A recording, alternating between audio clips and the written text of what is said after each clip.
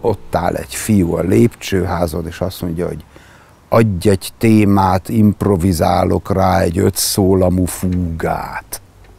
Nekem Bartókot, a Bartóki alapállást, a Bartóki habitust, a Bartóki világot folyton folyves dekódolnom kell. Nekem a legszebb az ő eladásában a Debussy-t, Schubertet, Bartokot hallani. Egész fantasztikus. Nagyon jó lehetett vele dolgozni, de ezen kívül állandóan hozott, tehát mit tudom én, majdnem hétről hétre olyan mennyiségű kompozíciót is, ami én nálam évekig, évekig tartott, amíg, amíg megírtam.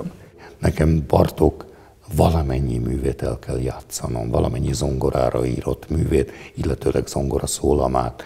Erre vagyok predestinálva. Nem lehet természetesen letagadni azt, hogy Bartók is, Kocsis is itt Magyarországon született, élt, alkotott, és attól a szorongásoktól sem voltak nyilván mentesek, amelyek speciálisan csak a mieink.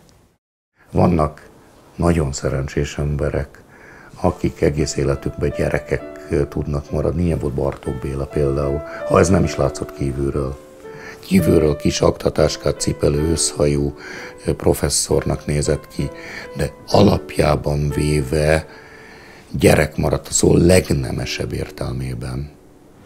Mostanában úgy szoktunk együtt zenélni, hogy ő vezényel, és én zongora versenyt játszom, és ez számos zongora verseny esetében kivételes élmény volt számomra, mert ő olyan mélységben ismeri ezeket a műveket, és olyan módon hallja, ahogy más karmester nem szokta.